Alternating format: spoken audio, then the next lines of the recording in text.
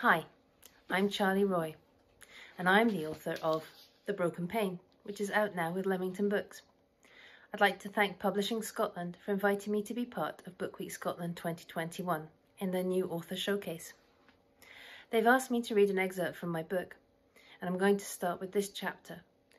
The timeline in the story moves around a great deal, and in this case, this particular chapter takes place in 1983. The light from the big street window in the waiting room at the funeral directors filtered through, past large display boards advertising their services to passers-by. The carpet was striped grey, beige and black. The wallpaper had a coral sheen to the brown geometric pattern. The effect of the contrast with the pale green motif on the chairs was making my eyes swim. The scent from an immense bouquet of lilies cloyed at the back of my throat. I was clutching a bag of clothes for my little brother Nicky a pair of smart jeans, a jumper, a shirt. I brought socks, shoes, and pants too. The sympathetic lady on the phone had not mentioned those, but it seemed wrong to send him off without them. I had tried to find his Star Wars t-shirt, only to remember he had outgrown it years before. The funeral parlour was on the route to the Odeon cinema, which is why I thought of the t-shirt. We only went there once altogether, to see The Return of the Jedi. Nicky had wanted to go on the Clockwork Orange, Glasgow's underground light rail service. It wouldn't have made sense to walk, walk down from Buchanan Street, so we got the bus.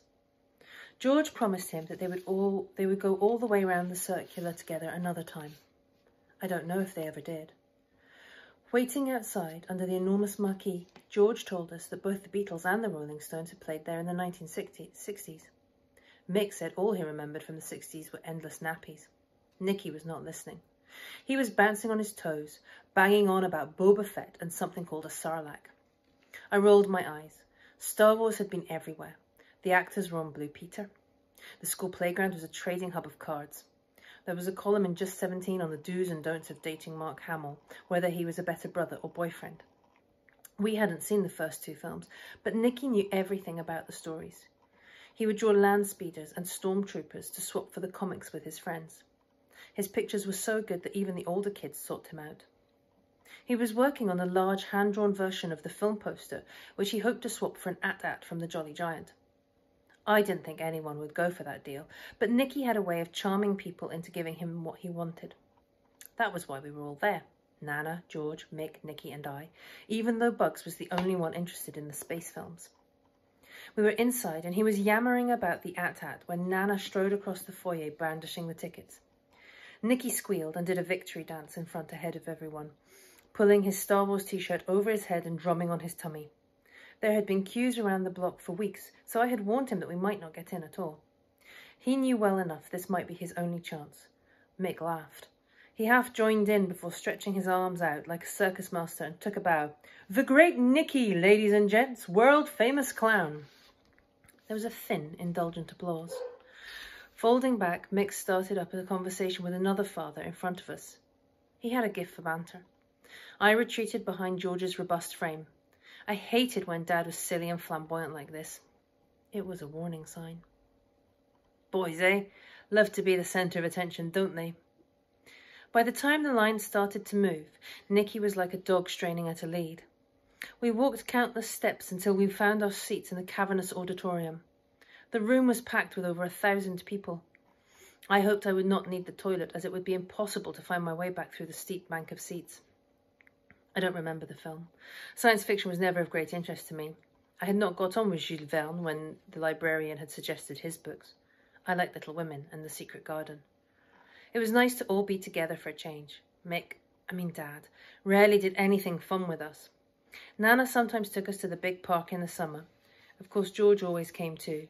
Everyone assumed that he was our grandfather, though he didn't live with Nana. No one expected older folk to be unconventional in that way. There were mornings when I could not understand how George was at Nana's house quite so early. The curtains drew across the wee stage at the front for the intermission. Mick and George got up, and I sat there staring at the ceiling while Nana and Nicky chatted about the space barge, where the Boba Fett had survived. I didn't want to barge in on their chat.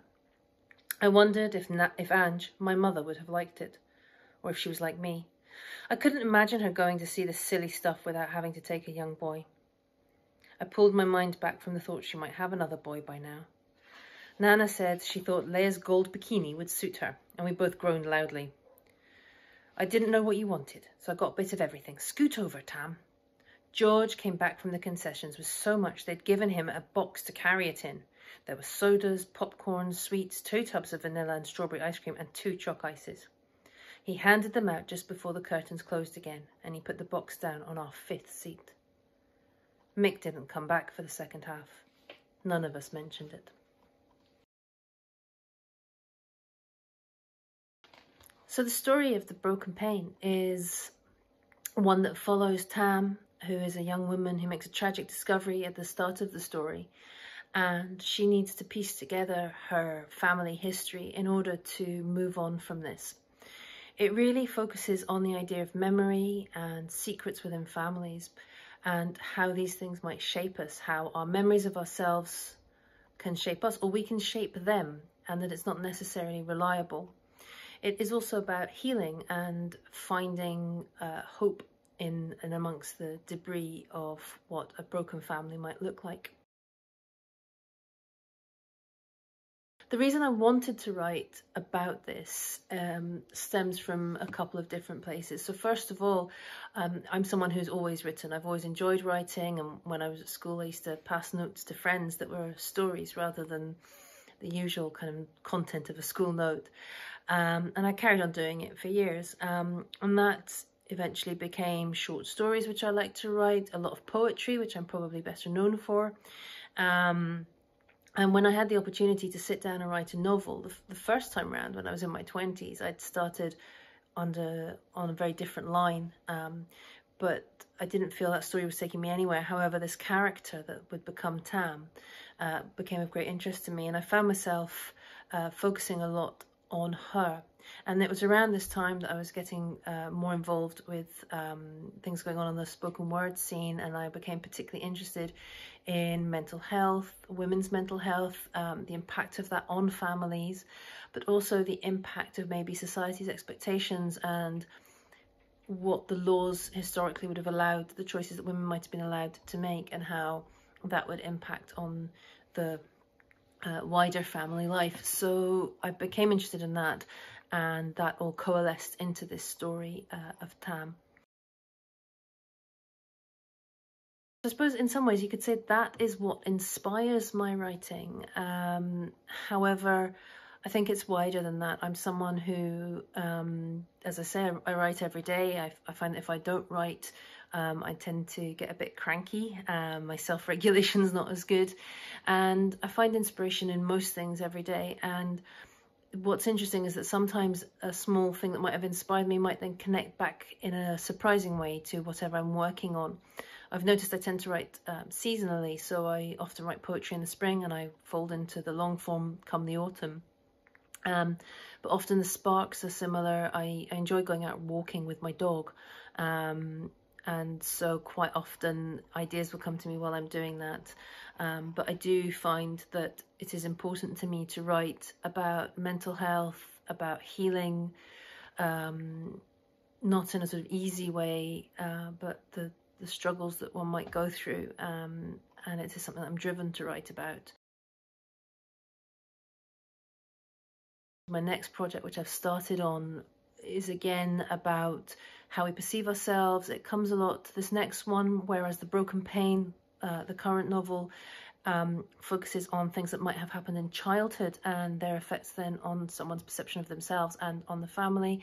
This next one uh, will work largely around teenage years and the connections we form when we are teenagers and how those then might impact on us and also looking at mental health uh, from that point of view and um, moving backwards and forwards to to those um, ideas and how we view ourselves um, in relation to the world.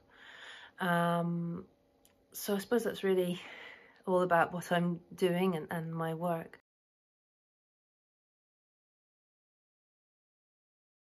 my favourite reads of this year, um, or in fact singular. However, it's really hard. First of all, I've read a great deal of books and some absolutely fantastic work. Um, I've really enjoyed an enormous amount of uh, authors this year. But the ones that stand stand out now, looking back, I would say uh, I'd like to mention one which um, is called Stay Mad Sweetheart by Heleen Kist, um, which is not a genre I'd usually read, but it was recommended to me. Um, it's set in Edinburgh and it's a thriller, um, really good page turner, and it's not not something I'd normally go for, but it's it's going to stay with me. I, I enjoyed that. Um, then I think the next one that I'd probably pick out would be The Mercies by Kiran Millwood Hargrave, um, which surprised me um, in that it it deals with relationships between women, uh, but I felt in quite an interesting and novel way and explored various aspects of friendships and sisterhood, uh, but also in the face of quite bleak circumstances. Um, and I know I was meant to only recommend one, so if I have to choose one, uh, I'm going with The Island of Sea Women by Lisa See, which was a real eye-opener because it had a, dealt with a great deal of history and a particular community um, in Korea at the time of the Second World War, and it was absolutely fascinating historically speaking, as well as being beautifully written. The characterization is superb. Uh, and in fact, I'm looking forward to reading another of her books soon because it really I feel I feel as though I'd, I'd met these people and and really understood their lives. They felt very real, and um, I absolutely adored it. Um, so that's really everything. So again, I am Charlie Roy. I wrote The Broken Pane. And thank you to Publishing Scotland and Book Week Scotland.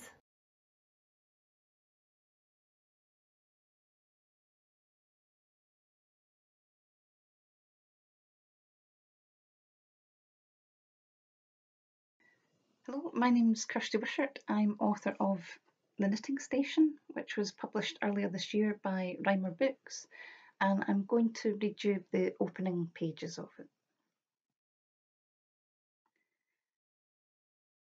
The night before the voyage to Tharn, in her cold Aberdeen B&B bed, Hannah dozed and a head filled with mushroom clouds.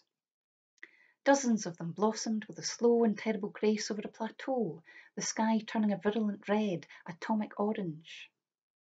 The terror of the sight faded as those large fluffy clouds shrank and sank, grew four short hooved legs apiece. Black sheep's heads thrust out one end with piercing eyes of radioactive yellow, while stubby white tails wagged at the other. Their joyful baas crescendoed as they neared the curiously unscorched grass, and on landing they gambolled, leapt over the ineffective fences. Hannah awoke with a start, scarcely knew whether to laugh or cry. She'd half a mind to run to Dr. Frederickson's room and tell him what harm his awful plan had already inflicted on her damaged subconscious. Attempting to keep calm, she listened to the restless breath of her roommate Maisie, one of the three other patients brought along as part of this mad experiment. Maisie twittered and mumbled, but at least she was asleep, and Hannah didn't want to wake her for the sake of some sheep infested nightmare. Clutching her candlewick blanket, she focused on the solidity of her narrow bed in contrast to the watery conditions to be faced tomorrow. What had she been thinking? She cursed the doctor's charm, the way she'd been swept along by his enthusiasm for a new radical treatment involving knitting therapy, portraying the group as experimental pioneers advancing medical history. The prospect of getting away from the confines of the Institute had also been attractive, and she got into the way of thinking of it as a holiday, albeit one with an insistence on handicrafts being undertaken. But now, with the world on the brink of nuclear disaster, Kennedy a hair's breadth away from war on Russia, being whisked away from the civilised environs of Edinburgh, well, the Institute on the outskirts, to an island so small it wanted not a speck on maps of the North Sea seemed ridiculous. Especially as she'd be spending two months in a place where the population of sheep outnumbered humans five to one, and to do what? Knit. Knitting. This was how she was expected to spend her time not writing to MPs, the newspapers, protesting, agitating. No. Instead, she would be improving her skills at casting off.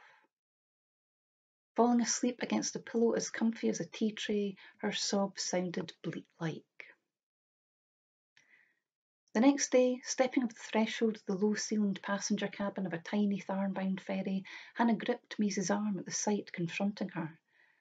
Because among the wooden benches were sheep. A small herd dotted about, the sheer wrongness of them in an enclosed space surrounded by sea making it difficult to count. That, and it felt cheeky to do so, as this particular breed was a good deal less cheery than the fluffy flock of last night. They regarded the new arrivals in unnerving silence, yellow eyes filled with bored contempt, a who let you aboard disdain. Worried this was a panic-induced hallucination, Hannah whispered, Maisie, those sheep, they are there, aren't they? If this was some sort of woolly vision, Hannah had to admit her subconscious had outdone itself by including olfactory effects, the smell of a barn enveloping them.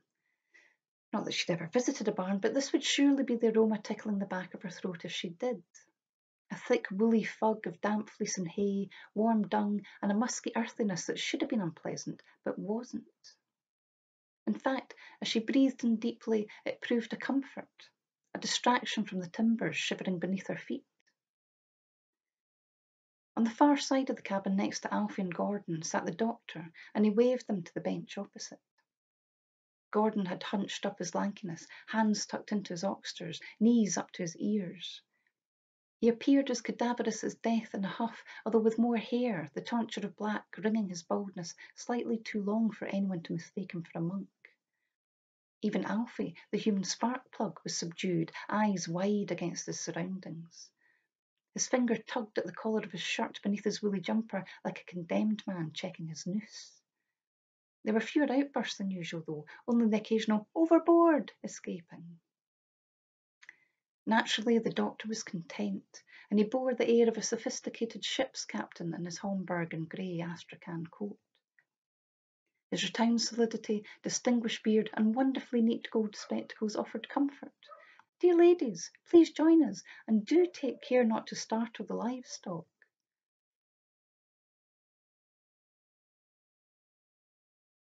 So the knitting station is set in the early 1960s at the height of the Cuban Missile Crisis, and it's about a group of psychiatric patients who are taken to a remote Scottish island called Tharn, a place like Fair Isle, which is famed for its knitwear, and whilst there they're going to undergo a radical form of knitting therapy.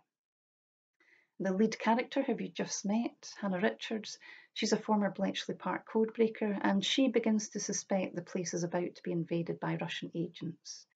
Um, but she can't be sure if this is actually happening or if it's her mind playing tricks with her.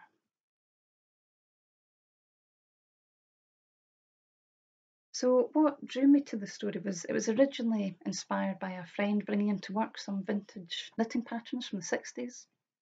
And I was just fascinated by how the covers seemed to present scenes from a, a homely yet glamorous subculture.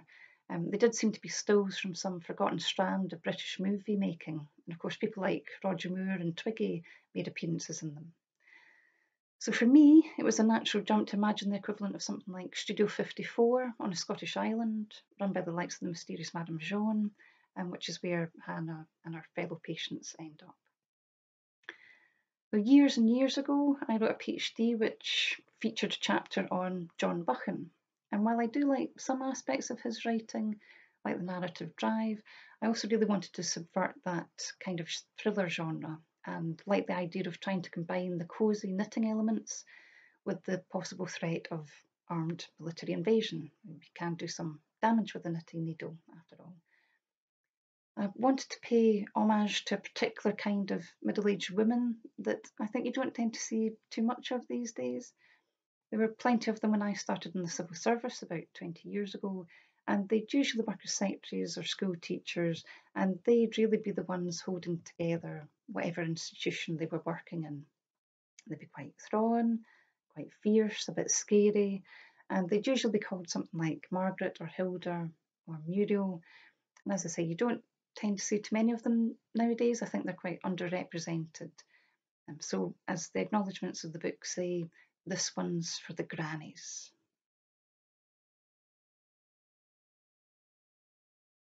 all sorts of strands of pop culture, films, and TV inspire my writing. But in this particular case, it was things like Mad Men and Endeavour that play around with certain cultural associations and images we have with particular time periods, kind of playful nostalgia, one that is aware of the political undercurrents that might not have been represented at the time. This particular novel, I was also inspired by the books that I read when I was wee, so things like Willard Price Adventure Stories or The Three Investigators. It's been described as Famous Five meets One Flew Over the Cuckoo's Nest, which I think is about right, and I describe it myself as Scooby Doo on Too Much Irn-Bru. I'd say my main inspiration though is pleasure, both for myself in writing it and for the reader, um, being sure that I try to keep them entertained. So I have to squeeze in writing around a full-time job, so I have to keep myself engaged during the short amount of time that I'm able to devote to it. So it's important to me that I enjoy that time, and I hope that communicates itself to the reader. And that pleasure in being fully immersed in all the details and textures of a made up world. So, what I'm currently working on could probably be best described as an urban fantasy set in Edinburgh, and it's about a witch, a hedge witch called Lizzie Bryce, who lives on a council estate and is murdered. It's, it's not a spoiler, by the way, it happens quite early on, and you know who done it. Um, she's murdered by a local councillor who's trying to tap into the power of the Green Man to help sway planning applications and the like, as you do. And the story's about Lizzie's daughter, Gail, who's trying to get to the bottom of her mum's death, and also accepting the fact that she might have inherited some of her mum's power and having to deal with the responsibility that comes along with that. It's also about Edinburgh becoming this strange and wonderful place with nature bursting through the cracks, um, because the Green Man doesn't take too kindly to being used for political ends.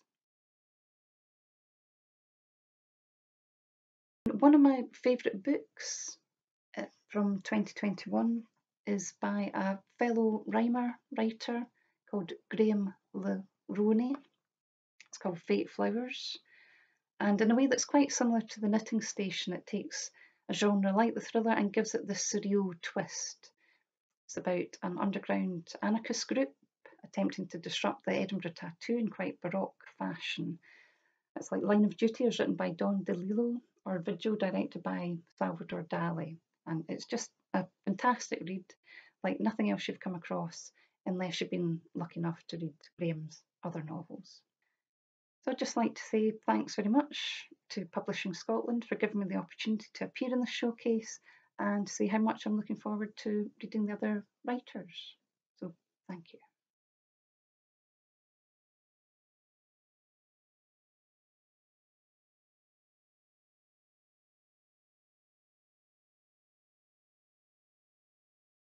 Hello, I'm J.A. Mensah, and I'm the writer of Castles from Cobwebs.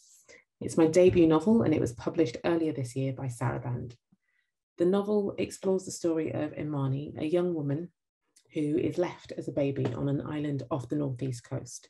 She's found by a nun and raised in a convent. She's black and the only person of colour on the small island, and so grows up with a sense of growing displacement at the age of 19, she receives a phone call from a woman who says that she's her maternal aunt, who tells her that her biological mother has died and invites her to Ghana to attend the funeral of her mother.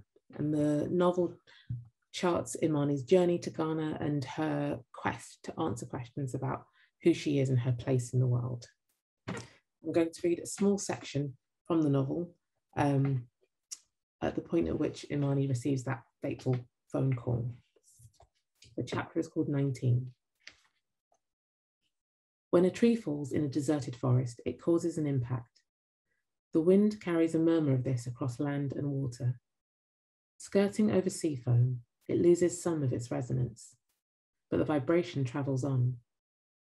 This trace, when it finally lands, is a shiver down your spine, a trickle between your nose and eyes that makes you sneeze or shed inexplicable tears. When my mother fell, I didn't hear it. I felt a shiver down my spine at around 2 pm on a Saturday at the end of October. I was 19 and hanging clothes out to dry in the courtyard. I dismissed it as a chill in the wind. Then, days later, I received the message. The phone rang in Reverend Mother's office. I let it ring, thinking someone else would pick it up. When no one did, I walked in and answered it, as I'd heard Mother and the sisters do so many times before. Hello, Sister Teresa's convent and day school. How may I help you? I need to talk with Imani, a woman said. My body trembled when she said my name. It's me, I answered. Imani, I'm your Aunt Grace from Ghana. Your mother is dead. No need for pleasantries to cushion the blow. We were family. My Aunt Grace from Ghana told me that my mother was pronounced dead on Saturday afternoon, just after 2 p.m. She had been unwell for some time. The funeral is in two weeks, Aunt Grace from Ghana told me. My aunt continued to talk, but I'd lost the ability to process information. She told me a number, an address, names, and dates. My hand wrote it all down, but my mind didn't quite register any of it. I searched the room for Imani, frantically looking up and down. Then I saw her, crouched by the door on the opposite side of the room, head between her knees, rocking back and forth. Still holding the phone to my ear, I noticed that my writing hand had stopped. I was nodding in response to something that Aunt Grace from Ghana had said.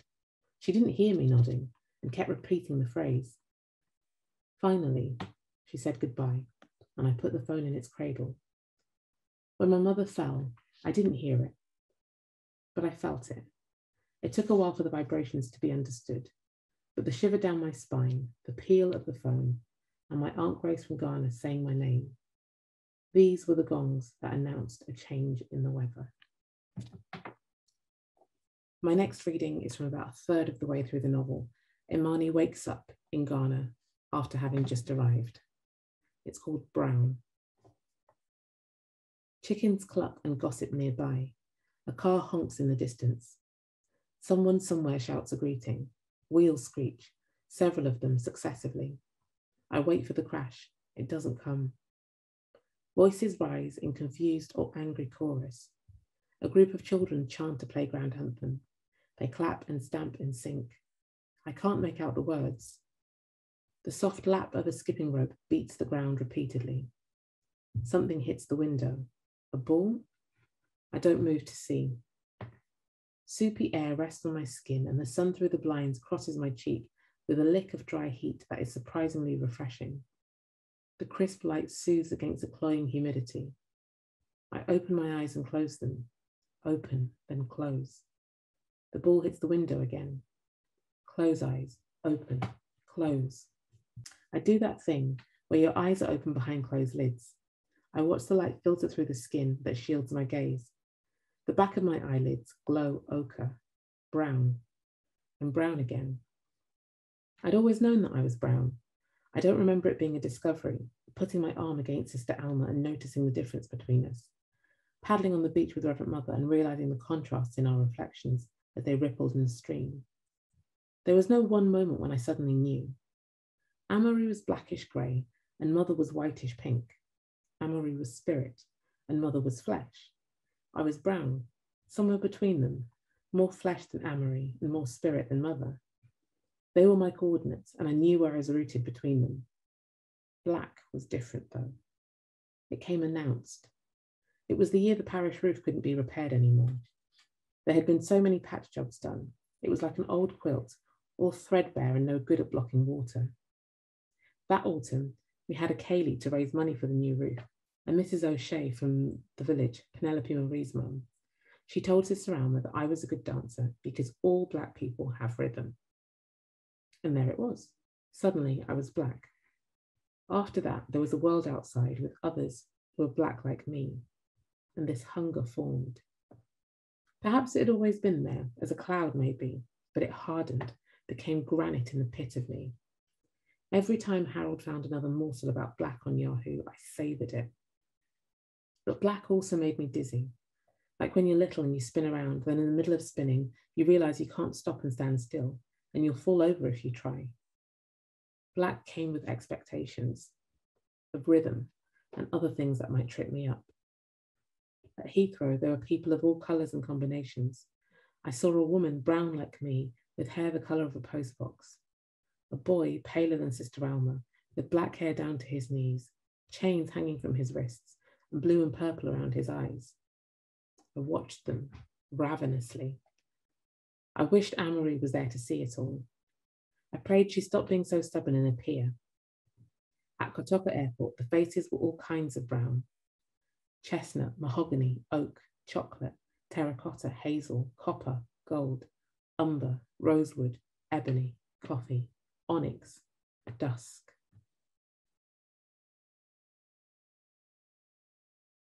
Many things drew me to this topic, and I feel as though it was something that was with me and building over a number of years.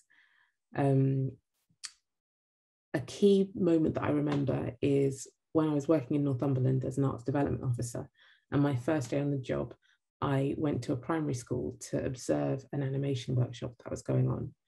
And as I stood back to watch the final animations um, shared with the class, a young boy came and stood next to me and took my hand and held it.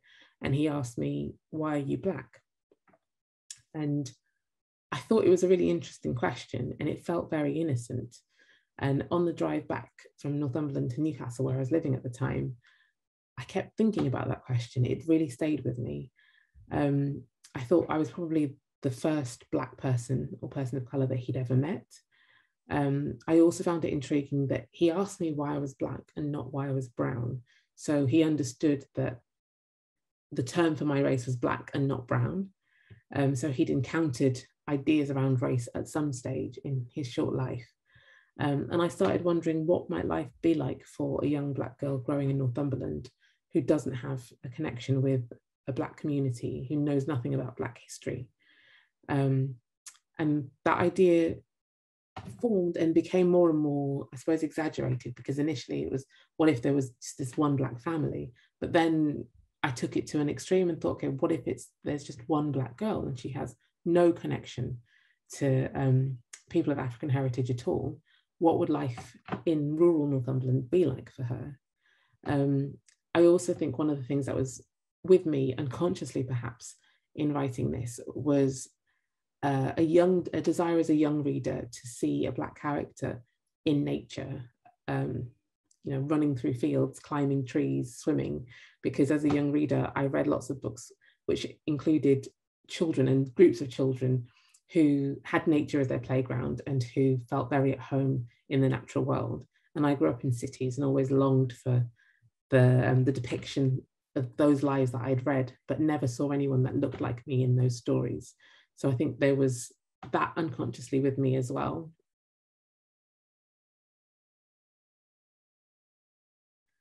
Many things inspire my writing, lots of things. So um, as small as a conversation, like the conversation that I had um, with that young boy in Northumberland all those years ago, uh, things I read, similarly um, to the things that influenced me as a young reader that found their way in some way into my debut novel. Um, things that are happening in the world, things that I watch, the yeah, the world, life, the life that we're living at the moment, all of these things ignite ideas for stories in me. Well, I'm terrible at talking about projects in development. I am working on a new novel. Um, the central relationship in it is a marriage and it explores questions about health and medicine and knowledge and culture, I suppose. Um, as I said, I'm very bad at describing it, but I'm hoping that it won't be too long until I'm finished when I should be much better at describing what the book is and what it's trying to do. Well, this is an easy one for me at the moment because I've just read a book that absolutely blew me away and it's Burnt Coat by Sarah Hall. It's a phenomenal, exquisite book that um, focuses on two lovers who meet and then there is a lockdown in their world and there is a pandemic uh, similar to ours but far far worse um, and their relationship is accelerated through lockdown and the novel is the story of um, edith the woman in the in the couple looking back decades later on that moment on what happened and on how life um, kind of evolved afterwards um, it's it's beautiful, it's poetic, it's it's gritty, it's real, it's tender. There's yeah, there is so much um, heart and knowledge in this book. I would recommend it to everybody.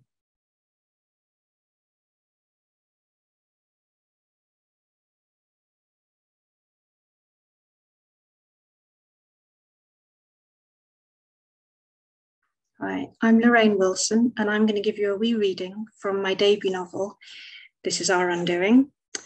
Uh, the scene I'm going to read to you comes from fairly near the beginning, and it has two characters in it, Lena and Tiago, who are scientists based at a remote field research station in the Rila Mountains in Bulgaria. There has just been an unexplained power cut, so they've been checking the equipment. The family of Lena's murdered enemy have also just arrived at the station, and Lena's own family, who are in danger back in London, uh, she has been trying to get them to safety. Done, Tiago said, turning off the barn light, the unlit dark slipping a little closer. Yes, solar panels okay.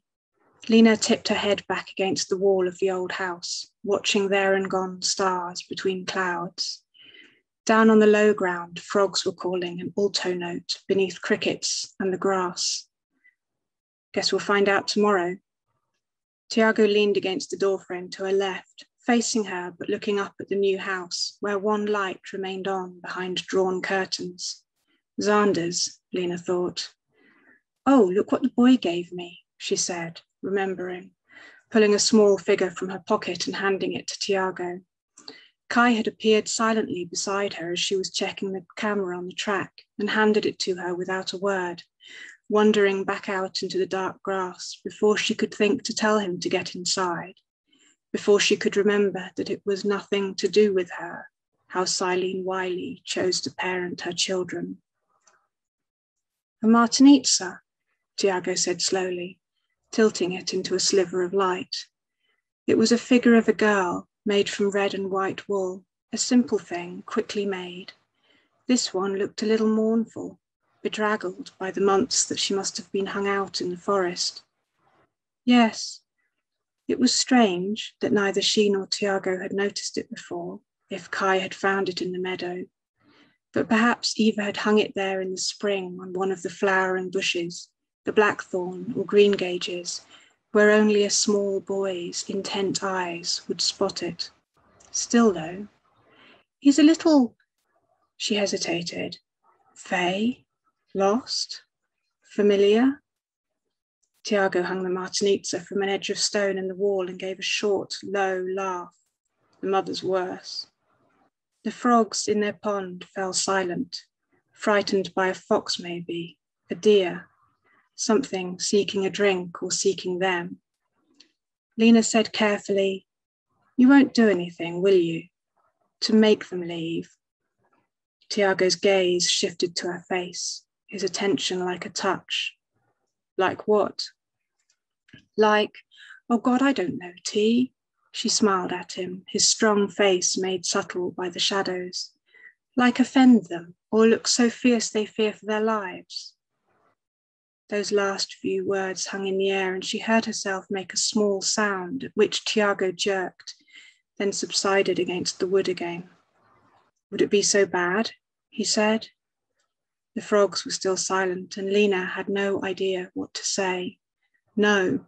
If she were th- only thinking of herself, then no. But it was terrible enough fearing for her father and Jericho. She could not imagine what it had taken to make someone like Tiago hide away, and she couldn't see him lose his sanctuary too. Promise me, T, she said without answering. Don't give them reason to fear you. He was still watching her, studying her face as moths wove patterns through the light. I won't, he said quietly. Then, perhaps pointedly, where are they now? Lena closed her eyes. Outside London, she said. You'll keep them away from here? Isla's reassurance and Silene Wiley's strange hooded comments, Xander's pale fingers. I don't know, she said. Yes, the frogs began to call again, one, then another, summoning bravery. So this is This Is Our Undoing.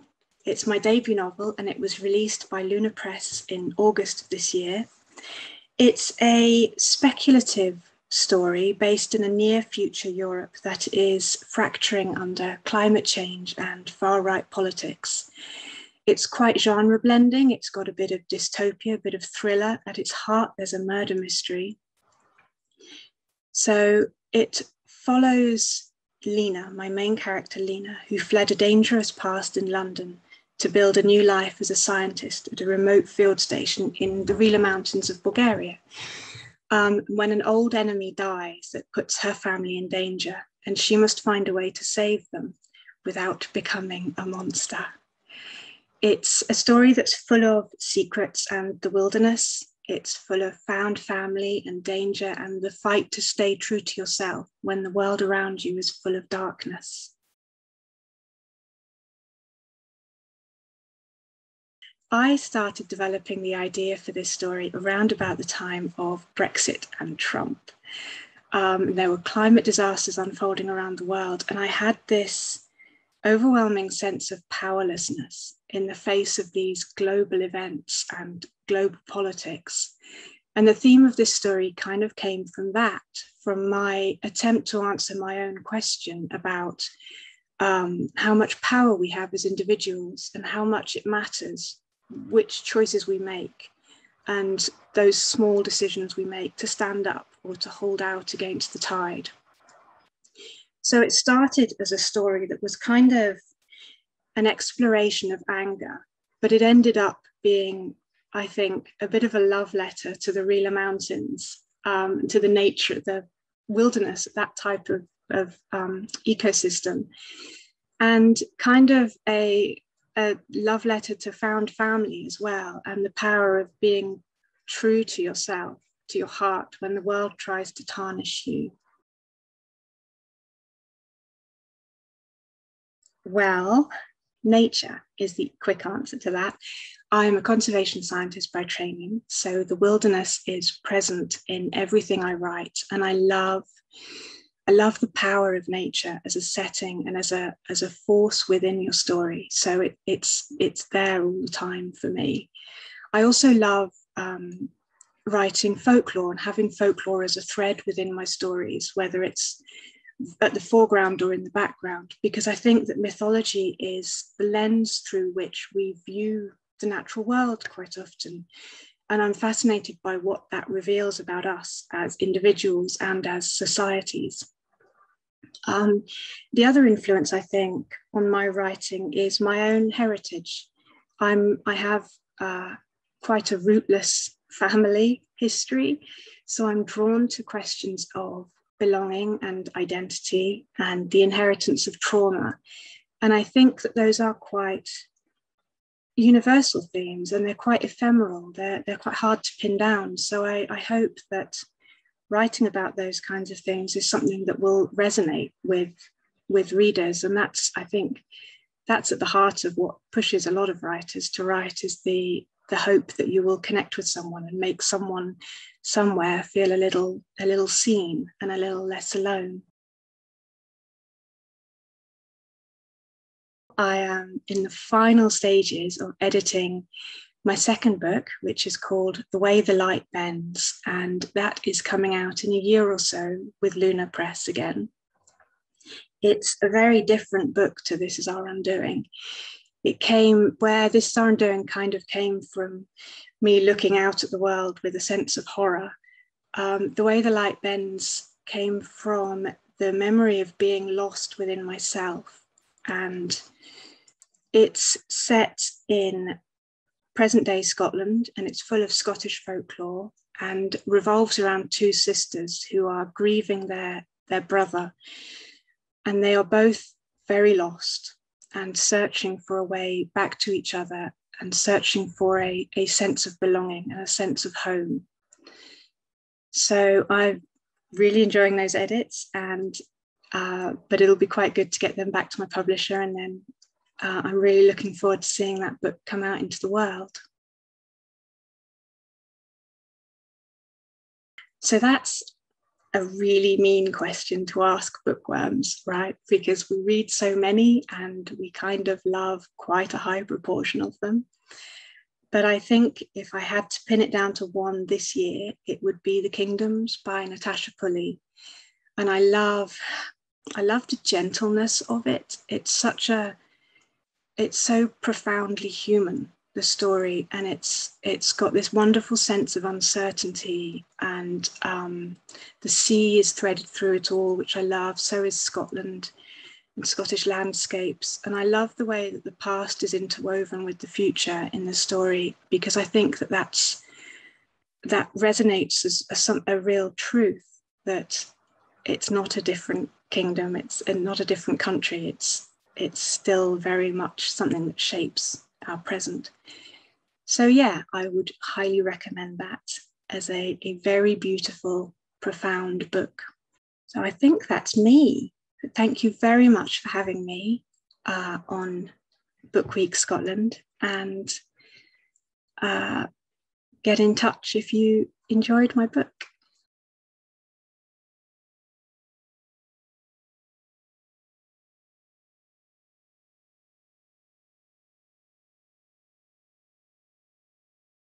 Hello, my name is James Watson. I'm the Managing Director of Sparsile.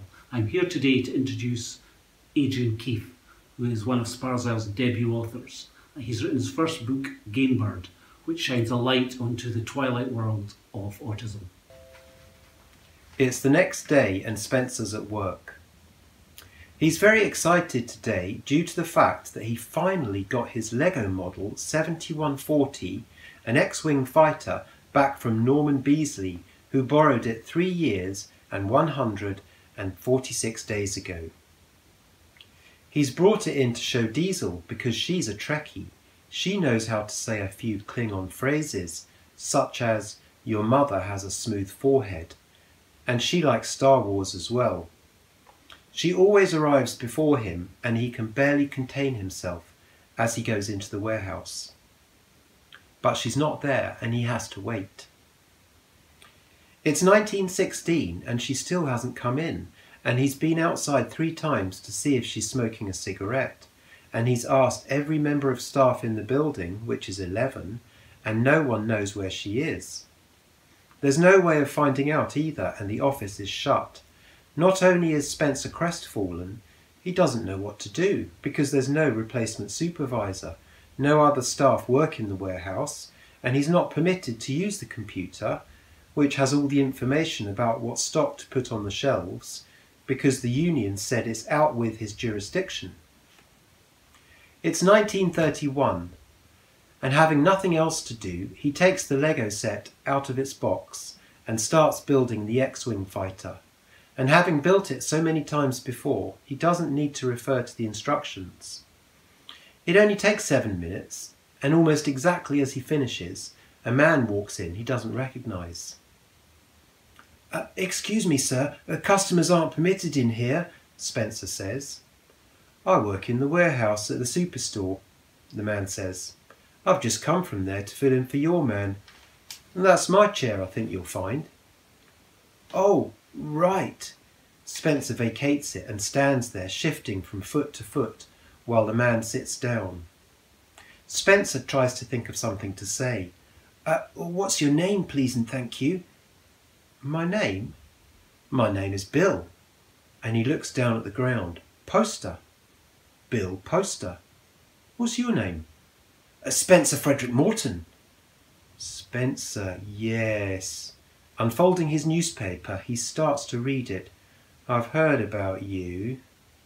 Haven't you got something to be getting on with? Uh, yes, but I don't know how to use the computer. Diesel does it all. She finds out what stock we need on the shelves, locates it for me, and I put it in the merchandising trolley. Is that right? Let's have a look. Bill folds up his newspaper neatly and turns the computer on. Is this yours? He holds up the spaceship. Uh, yes, it's Lego Model 7140 an X-Wing fighter. It's very rare, especially in good condition, with the box and instructions. I've had it since 1999, which is when it came out, and I was eight years old. Have you indeed? That's interesting. How much is it worth? I don't know, but it's not for sale anyway because I'm an enthusiast.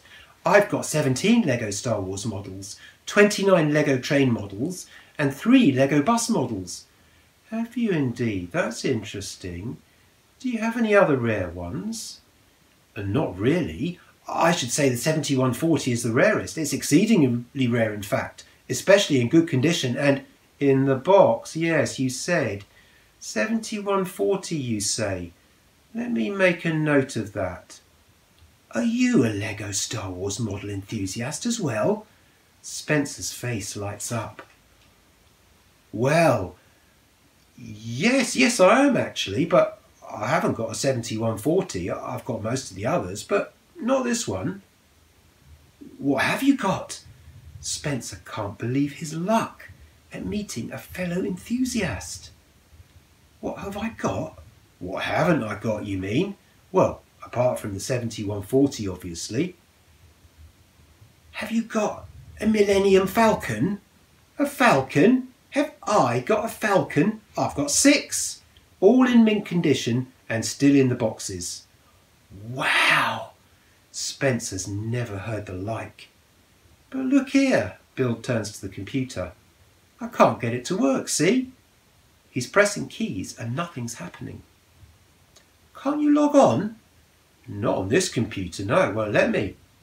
So, what are we going to do? What are we going to do? Let me have a think. He strokes his chin and his eyes revolve. At length, he stops stroking his chin, his eyes stop revolving, and he raises his eyebrows. I give up. He puts his feet up on the desk and unfolds the newspaper again. We'll need to go up and down all the aisles with a notebook and an HB pencil and write down all the things we're short of, then find them all, put them on the merchandising trolley, and take them to the relevant shelves. The relevant shelves? Yes, I suppose you're right. Bill doesn't look up. I'll tell you what, you make a start and I'll join you later when I've finished reading my paper. How does that sound? Uh, that sounds good.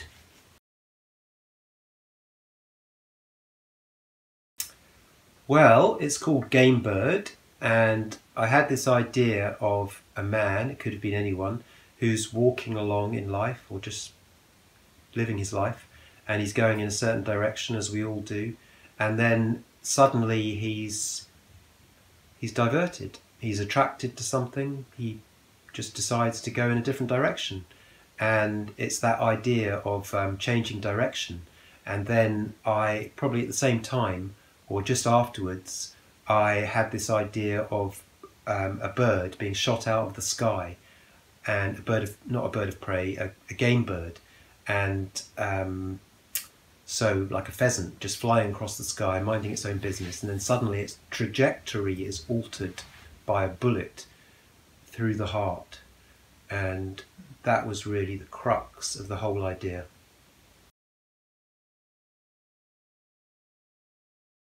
Well, the main theme of the book is change, and I wanted to find a character who who really brought about that theme. So I thought that the perfect vehicle to do this would be somebody with autism, because through them I could show how someone is coming from a very narrow, limited world, and then it's the discovery of a world that is based on infinite possibility. Well, I think that I'm probably quite fortunate in that I have a lot of ideas all the time. That's my strong point. And especially when I'm cycling or on a train, I find that ideas just come to me. And I have an idea for a book or something or other, and I mull it over for a very long time and kindle it and sort of cherish it, as it were, and then gradually characters will form, and then I'm up and away really, and it's almost as if when I get to that stage that everything that happens to me in life, well not everything, but so many things that happen to me and things that I see, they just they're all grist for the mill and they can go into the story.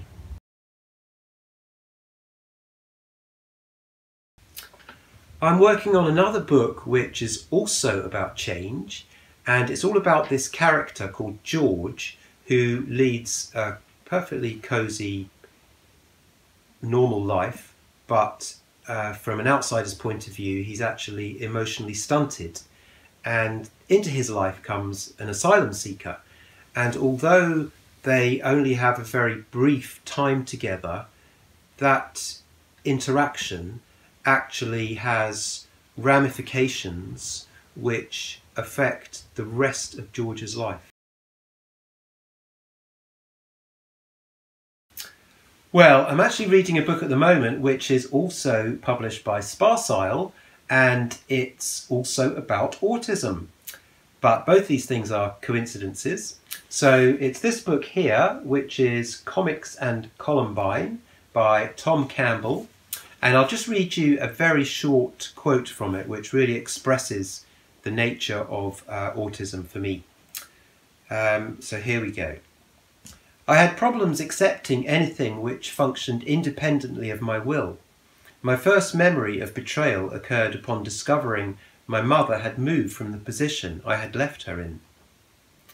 I could not accept the Monkees being both singers and actors, as this breached the unspoken law of singular function I assumed the universe to be based on. Because it's about autism, and my book is also about autism, and I found that because this book is autobiographical, it really um, puts you there. You really feel for this person who is um, is struggling, and um, it's just it's just totally captivating.